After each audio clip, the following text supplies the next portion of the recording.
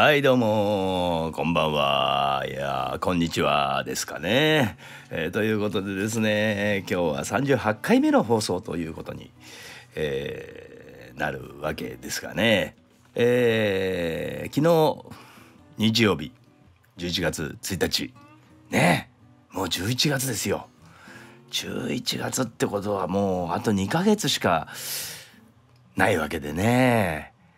えらいこっちゃ。2020年あと2ヶ月しかないですよ。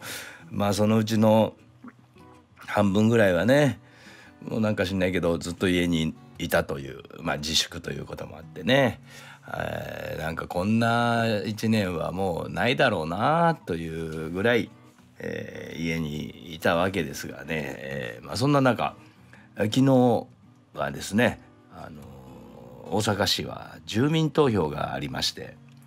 大阪都構想というね。まあ私もあの投票しに行かしていただいたんですけどね。結果はそのまあニュースなどを見て知ってる方もいっぱいいらっしゃると思いますが、えー、都都にならないと。大阪府大阪市のままだということでですね、えー、まあ今まで通りになっちゃうのかなという感じがありますが。ねえあんだけえー、もう5年前だったかな5年前ぐらいにもね、えー、その時は当時橋本さんがね率いて率先して大阪を都にするんだっていうのをやっててその5年経って今年もう一回やったんですけどやっぱりあの大阪都になるのは嫌だというね結果が出た次第でございます。はいまあ、私はどちらに投票したかというのはちょっとまあこれはねこの場ではちょっと避けさせていただこうかなと思いますけどね。うん。まあそういう結果になったということでね。まあまあ良くなればねいいんですけどね、えー、そういうことを期待しながらですね、まあ、これからも生活していこうかなと、えー、そんな中アメリカの方では今日かな？大統領選、うん、が行われると。ね、トランプさん危ない。って言われておりますけどね。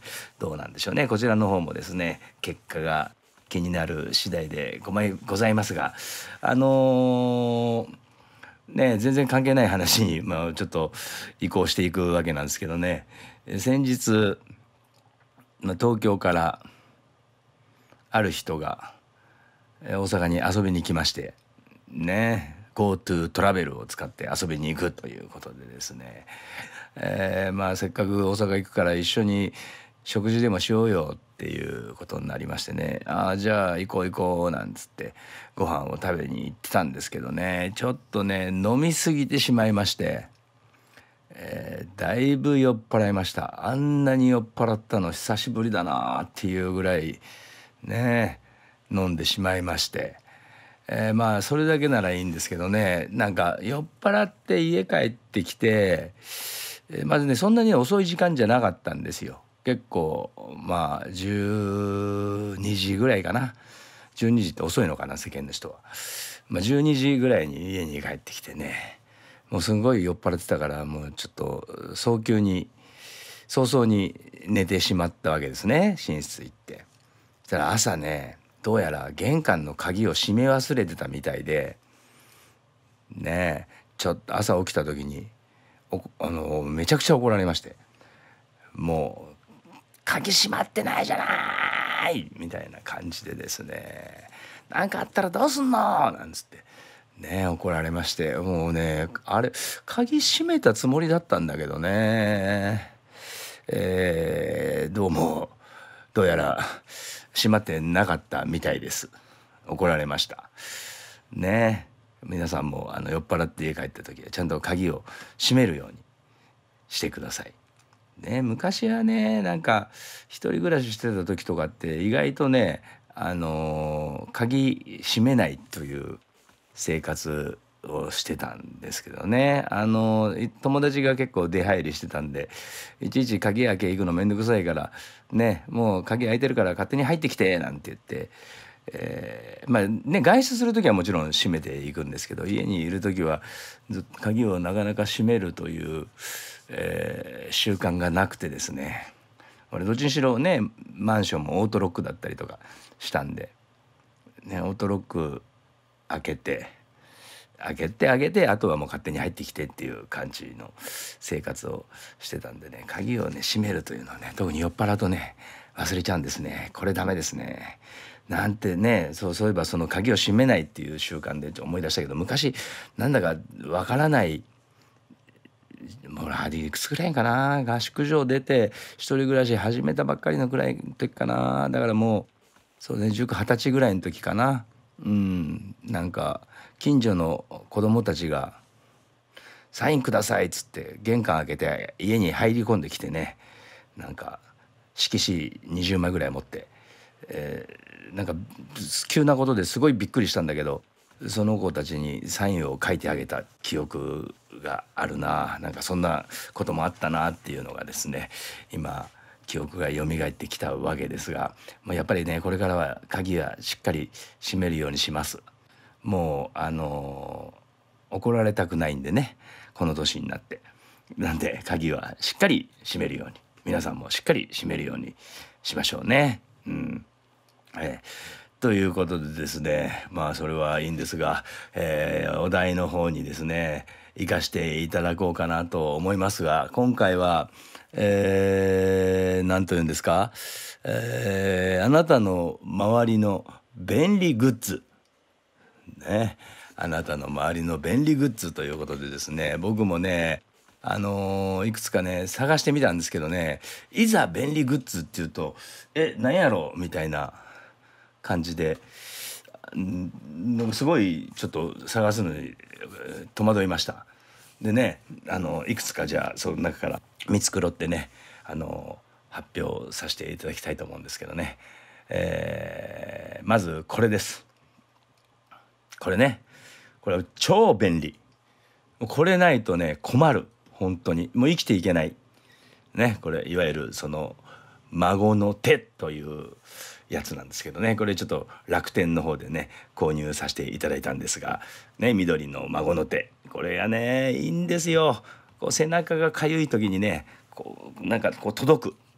ねこうねちょっと前までね2年ぐらい前まではねこれいらなかったんですよ。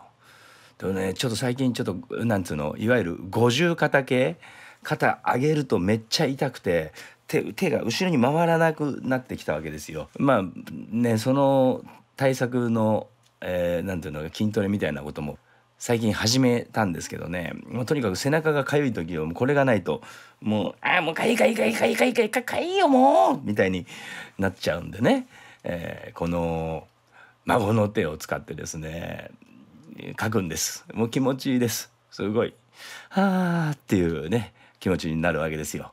でこの孫の手がね今これ緑の孫の手なんですけどね我が家にはねこれがね2本あります。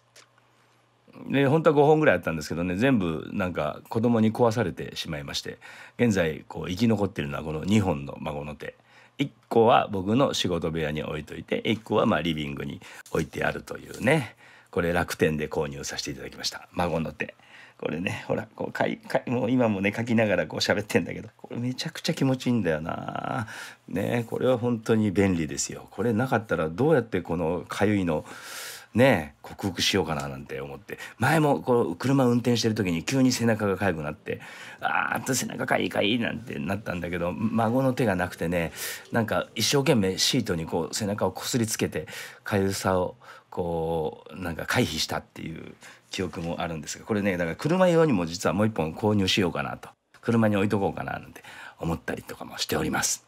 えー、それで続いて続いてねこれ僕のこれ便利グッズ。便利グッズこれ多分ねあんまり普通の人っていうかあんまり使わないんじゃないかな。うちだけかなこれ使うの。ねこれです。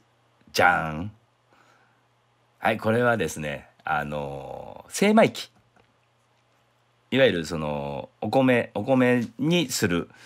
ね。うちあのなんか農家をやってるお知り合いの方が結構いるんでね。このお米をねもらうことが多いんですよ。それ精米してないお米をねもらうことがよくあってね。今まではちょっと近所のねあの精米所みたいなところまでお米持ってってそれでガーってやってもらってたんですけどね。その行くのがね重いし米重いじゃないですか。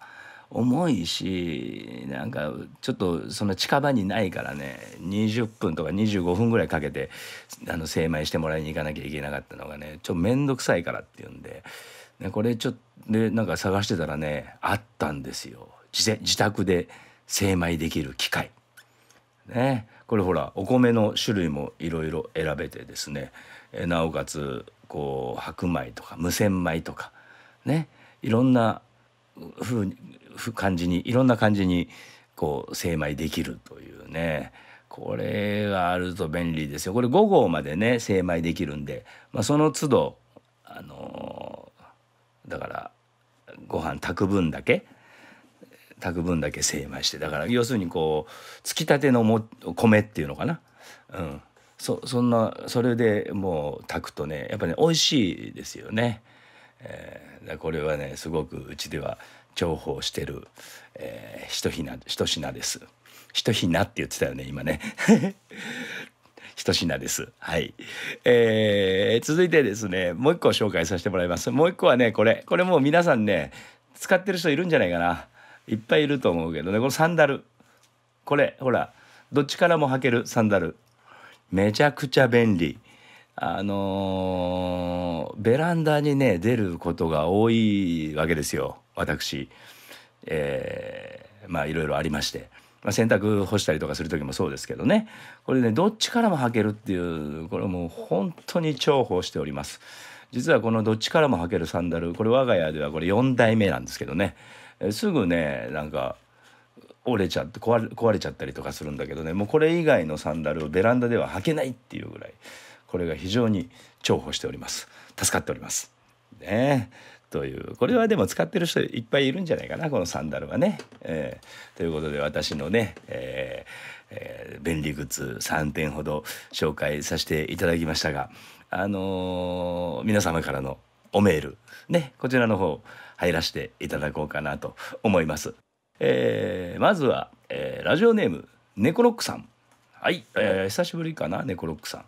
ね、はい、えー、ゴヨ君、こんばんにゃ。あ、こんばんにゃ。えー、はじめに、おテーマとは別の質問をしてもいいですか？あ、はい、いいですよ。えー、紅葉君は人見知りしますか？私は1対1は全然平気なのですが、大勢の中に入っていくというのが、本当に苦手で人が増えると急に喋れなくなってしまいます。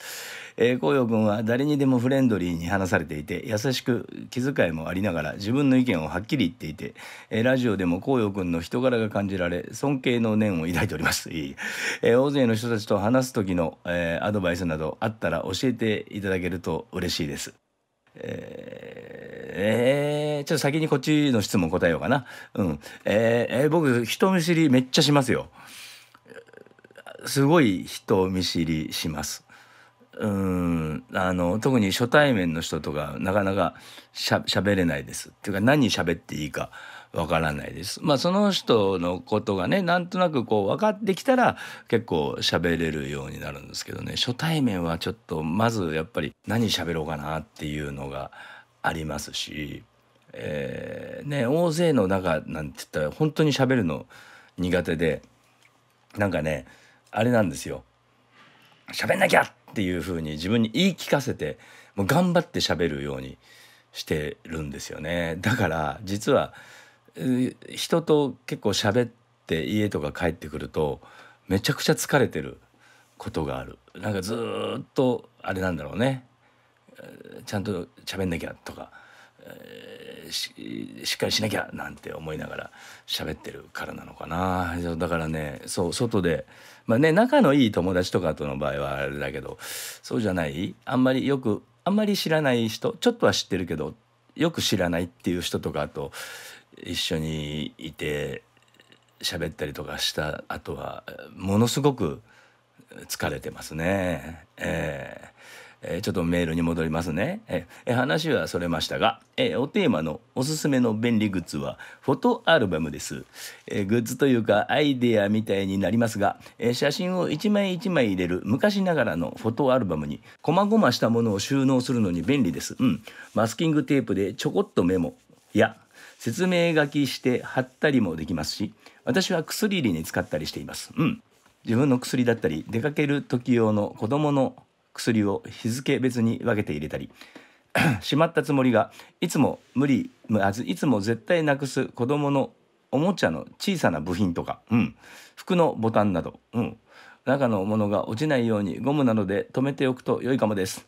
個人的に無印、無印、無印、無印だって、無印良品さんのは、えー、使いやすくて好きです。うん。季節の変わり目で体調を壊しやすいので気をつけてくださいね。またおメールします。ありがとうございます。えー、フォトアルバムね。あ、いわゆるだから、あれだよね。あの、もうなんかちょっとポケットアルバムみたいな、そんな感じのやつなのかな。えそれ、あ、それをね、いろんなものに入れて持って歩くっていう。なんかね、あのクリアファイルみたいなのはよく使いますけどそれとは違うもうちょっとだからちっちゃめのやつってことなんだねそれに薬を入れたりとかいろんな細かいものを入れたりしてもちろんああいいですねなかなか、えー、フォトアルバムっていうとね今はもうこの電子フォトアルバムとか言ってね写真がこう自分でめくらなくても勝手に、えー、変わってくれるなんていうのがちょっと前にね流行ったりとかもしましたけどあそういう使い方もあるわけですね。えー、わかりました。ありがとうございます。えー、続いて、ラジオネーム、これ、小熊屋さんかな。うん。えー、小さんこんばんは、えー、ラジオ配信をずっと続けてくださって本当にありがとうございます。日々の楽しみになっております。いえ、ありがとうございます。えー、今回のテーマ、おすすめの便利グッズです。です。えー、いろいろ考えてみたのですが、私からは洗顔ブラシです。おプロのメイクさんがおすすめしていたのですが、顔をブラシで洗うという発想がなくてびっくりして買ってみましたあびっくりして買っちゃったんだねええー、確かにこれを使うだけでお肌がツルツルとし何より毛が柔らかいので気持ちが良いです。うん。肌に直接ではなく石鹸の泡をたっぷりめにしてその泡の上にさささっと撫でる感じで OK です。うん。手でゴシゴシ洗うより早いかも。ほうほうほう。毎日でなく週に何回かで良いと思います。紅葉さんにもお芝居の時などメイクされることもあるかと思いお役に立つかなと思いました。えヒット商品などでご存知の方も多いかもしれませんがダイソーですが300円で売っております。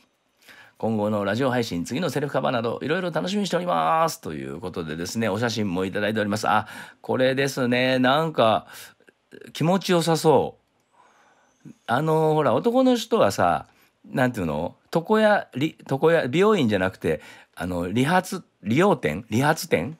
どっちかわかんないけど。なんかうん。そういうところに行くとさひげ剃ってくれる時になんかこんな感じのでねこうクリームみたいのこう顔に塗ってそれからひげを剃ってくれたりとかするのに。それにちょっと似てる感じで。これで顔を洗うわけですか？細かくね。シュッシュッシュッシュッと。ああいいですね。ちょっと今度やってみようかな。僕はあのなんかこうネットになってて泡立ててその泡でこう洗顔をするっていう感じの洗顔をしてるんですがこれをちょっと一回試してみようかな。良さそう。ダイソーで300円だって。ええー、うん。えー、では次いきます、えー、ラジオネームツーさん。はい。小さんこんばんは。いつもチーム雇用ラジオ楽しく聞いております。ありがとうございます、えー、今回のお題おすすめの便利グッズということですが私のおすすめグッズはゆで卵用穴開け器です。なんじゃそりゃ、えー、知ってる方もいらっしゃると思いますがこれを使うとイライラせずにゆで卵の殻がつるっとむけます。ほほでは簡単にこのグッズを使ったつるっとむけるゆで卵の作り方を教えます。ってこれね写真がついてますので写真を見ながらですね説明聞いていただければと。え穴開け器に卵を乗せてギュッと押し込みます。え卵に小さな穴が開けば OK です。え卵に穴を先に開けちゃうわけですね、えー、2沸騰したお湯の中に卵を入れます。あゆで卵をね。穴穴が開けてから茹でるんだ。えー、7から8 7から8分茹でます、えー、茹で上がったらすぐにお湯を捨てて瞬時に氷水で冷やします。氷が溶けたら殻を剥いてください。イライラせずにつるっと剥け抜けます。ぜひやってみてください。おそうなんですか。穴を開けとくとそこになんかあれかな？なんか空気が入ったりとかするのかな？でこれがそれをできる機械なわけですね。ゆで卵。ゆで卵って本当ねたまに全然剥けないやつあるよね。あれ本当にイラってすんだけど。僕はだいたいこう真ん中にポンって穴開けてそのままぐるぐるぐるって回してそれでねあの開けるっていう開け方をゆで卵はするんですが、えー、こういう便利なグッズがあるんですね。家でねやる時はこれでやったらいいのかななんて思ったりとかもしますが。えー、すごい、えー、続いてラジオネーム小桜さん。小くんこんばんは。グッズではないのですが私が最近使って助かっているものを紹介します。はいはいはい。それは YouTube の読み聞かせ動画です読み聞かせというと子供に絵本を読んであげることを想像されると思いますが私が聞いてるのは寝落ち用の読み聞かせです。お寝落ち用聞いてると寝ちゃうのかな？寝つけない時に音楽を聴くとそのアーティストへの思いが込み上げてきたり歌詞に感情移入してしまい余計に頭が冴えてしまうことがあると思います、うん、えところが物語を聞いていると絵を想像するからなのかいい感じに頭の中が空っぽになりずっずっと眠りに入れるんです。スーッとかな眠りに入れるんです。うん。一昔前、子供に読んであげるとすぐ眠くなると話題になった絵本、おやすみロジャーをはじめ、日本の昔話、世界の童話、えー、星座の解説、オリジナルの話など、たくさんアップされています。ほうほう。私のお気に入りは、ライ麦さんというイケボ、えー、イケてるボイスの男性が自身で作って朗読するおやすみポポというお話です。うんうんおやすみロジャーと同じくポポという主人公がぐっすり眠るためにいろいろ工夫をするお話なのですが 特に盛り上がりのないストーリー わざとだと思います、声のトーン間の取り方などすごく研究されているようで40分弱のお話ですが私は最後まで聞けたことがありません、うん。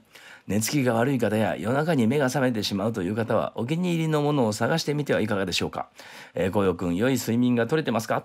睡眠は大事ですよね。これからもご活躍を楽しみにしていますということです。へえそういう YouTube 読み聞かせ動画っていうのがあるんですね。僕もね YouTube もともと始めた時はね動く紙芝居っていうのでね大して動かないんだけどなんかそんな朗読みたいの昔話の朗読みたいのをした動画が多分僕このチャンネル遡っていくと3本ぐらいあるんじゃないかな。なんかねえっ、ー、と「ネズミの嫁入り」っていうのと「えー、マッチ売りの少女」というのとねあとなんかもう一つやったんだよな。何だったっけな。あサルカニ合戦かな、えー、なんかその3つをねちょっと朗読させてもらってね絵の方もちょっと描いたりとかしたんだけどもうまず絵が拙いしね。朗読もなんかもうちゃんと読めよっていうような朗読になってるし。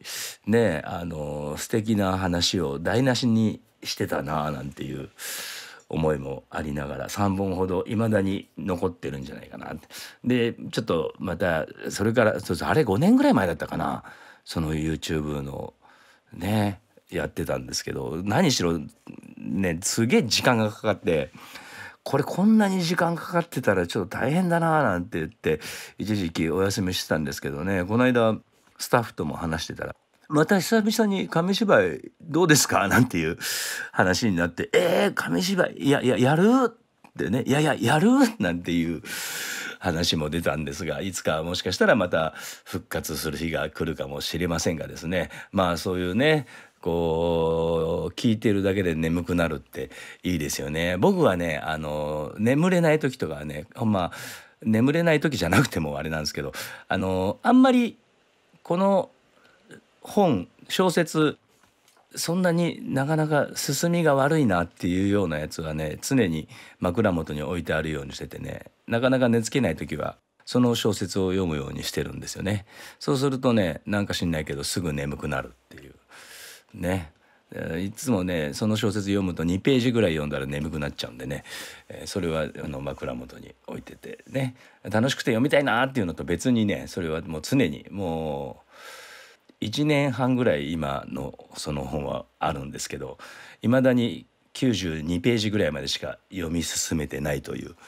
ね、しかももう眠くなって寝ちゃうからどこまで読んだのかも分かんなくなっちゃったりとかしてもう一回ちょっと前に戻って読み直したりとかねそんなこともあったりとかするんですが。ね、そのラジオちょっと今度探して聞いてみたいと思います。ラジオじゃないや YouTube ね。うん。はいでは次。ラジオネーム、えー、これ初めての方ですね。えー、レイコとジョディとロザリーナは星空の下でみんな仲良し。で長いラジオネームをねいただきまして男組の曲のタイトルでラジオネームを作られてらっしゃる感じですかね。はい、えー、小さんこんにちは。はい初めておメールします。ラジオネーム長くてすいません。いやいやいいですよ。えー、俺は俺は男の人だね、えー、俺はじゃあ男の人っぽく。俺は1989年からずっと男組に惚れています。ありがとうございます。ファン歴長いのにもかかわらず、アルバム3に入っている玲子をずっと千人和也さんが歌ってると、今年まで思っていました。YouTube のコウさんのセルフカバーのコメント欄でそのことを書いたら、コウさんが歌ってるのは俺僕ですよ、と。ご本人自ら教えていただき、すげえ嬉しかったです。その説は教えていただきありがとうございました。えー、本題のあなたの周りの便利グッズなのですが、俺が真っ先に思い浮かんだのが、100均やコスモスなんかのディスカウントショップによく売ってる、立つしゃもじです。ほぼ毎日お米を炊くのですが、このしゃもじは立つんです。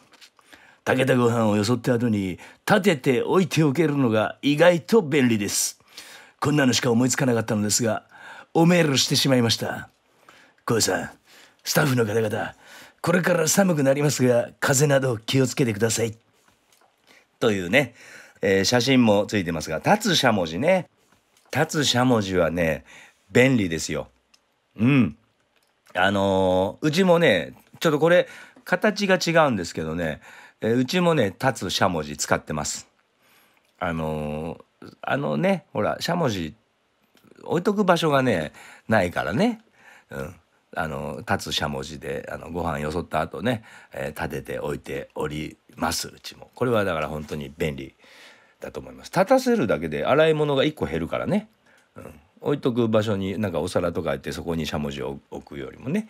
そうそうそう立てておくとそれだけで済むからいいんですが。あレイコね。和也さんが歌ってると。あのねレコーディングのサビのところはねまあ和也にも歌ってもらってるっていうかまあ和也が作った歌だけどね、えー、そう千人と私が一緒にあのユニゾンで歌わせてもらってたんですがね。ライブではねまあ僕結構歌ってましたよ。はい。まあさあのコメントコメントじゃねえなんだけど最初の喋りの部分はねあのもちろん僕やらせてもらってたんですけど。ああそうですか。やっぱり和也の声がよく聞こえるからね。うん。はい。ということで続いて、えー、これは本日最後の、えー、おメールになるのかな、えー、ね。これ最後になりますがこれ、えー、最後じゃない。あと2つ？ああと2つですか。分かりました。あと2つじゃあ行かせていただこうと思います、えー、ラジオネームみやさん。はい。紅葉さんこんにちは。こんにちは。えー、今回のお題おすすめの便利グッズですが我が家の洗濯係洗濯番長のおすすめを紹介しましたお洗濯番長。旦那さん。旦那さんのおすすめだ。よし、えー、それは洗濯物と一緒に入れるだけで洗濯力がアップ。洗濯マグちゃんです。えー、洗濯補助用品なのですがネットの中にマグネシウムが入っています。ほうほう。一般の水道水にマグネシウムを入れるとアルカリイオン水となります、うん、アルカリイオン水は洗濯物につく油油脂分を分解して石鹸化するそうです。ほう。消臭効果もあり排水ホースや排水口の汚れも少しずつ軽減されるとのこと。何より洗濯洗剤の使用量が半分になるので経済的で環境にも優しい。マグちゃんは 300, 300回以上使用できますほうほう今回のお題のことを旦那に話したところ「やっと俺の出番が来た!」とマグちゃんの熱弁が始まりました。えー、小夜さんラジオをお聞きの皆様気になったら使ってみてくださいね。うん来年1月の舞台見に行く予定にしてます。ぜひぜひファンミーティングもぜひぜひ GoTo イベントも始まりますし来年がますます楽しみですねというねこれラジオネームみやさんあねえそう写真もいっぱいついてて洗濯マグちゃん。あこれなんか俺知らなかったけどうちにもあるな。うん。うちなんか使ってるなこれ。洗濯物に入れてる。けど洗剤も普通に入れてるからこれを使ってる効果があんまり実はないのかもしれないような気になってきましたけど。はい。うちにもこれあります。使ってますね。はい。ありがとうございます。ね。でこのこのちょっと今あのー皆さんのメールにもありましたがファンミーティングね。こちらの方ちょっと今ね話をちょっと詰めてるところですんでね、えー、まあお芝居感激後になんか皆さんとなんか交流を持てる機会が本当に実現しそうなんでそちらの方あの決まりましたらですね、えーまあ、YouTube の方でも発表しますがブログなどの方でも、えー、発表させていただこうと思いますので皆さんもぜひぜひご参加いただければと思います。えー、ということで最後の、えー、おメール行かせていただこうと思います。えー、ラジオネームアンさんね、この方もですね結構いただく、ね、いつもありがとうございます。えー、小陽君こんばんはこんにちは今回のテーマはすぐ浮かびましたよほうほう、えー、傘なんですけど普通のと逆なの分かりますか？こう写真がついてるんですけどね閉じてる時に雨で濡れている外側が内側に閉じるので車に乗る時にスムーズに閉じれてなおかつ車内が濡れないんです。えー、車から降りる時も普通の傘だと開くのにドアを大きく開けないと開けないとですが、えー、これだと少し開けるだけで開けるので便利です。雨の日のストレスがかなり減りましたよ。これでかなり雨の日のストレスがなくなりました。というですねはあの逆に開く傘ね。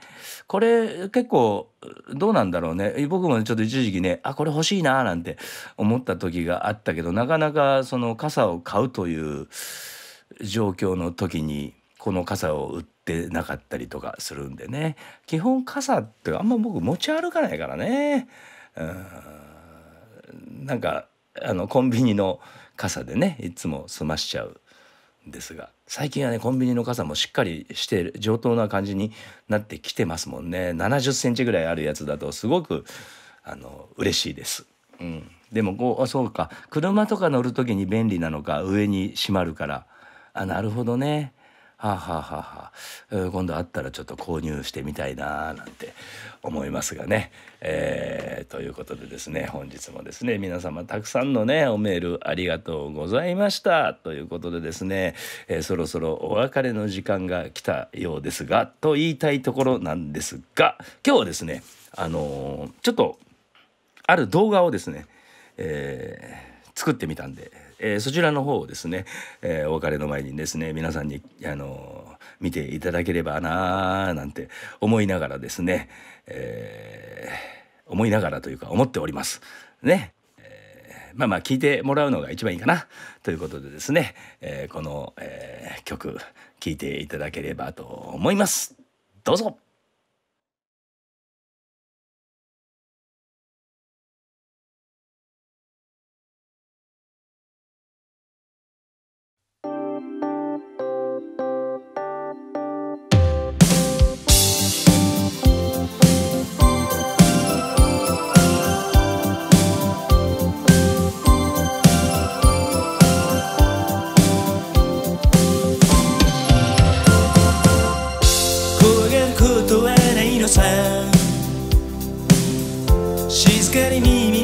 せば聞こえてくるよ。僕らを呼ぶ声が歩き出そうよ。昨日のことは振り返らずにどこまでも続くこの道を見えてる夢つかめるはずさ。明日だけを見つめていれば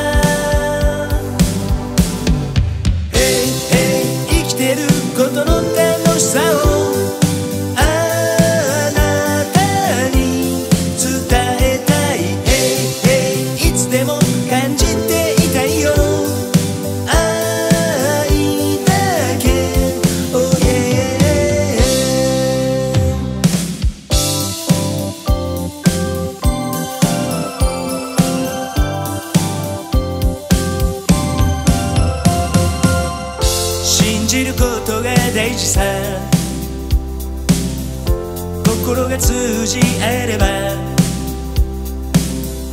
見たこともない素晴らしい世界が開けてくるよ。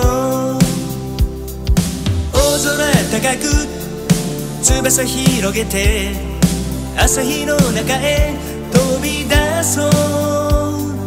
悲しみなど消えてしまうよ。明日だけを見つめていれば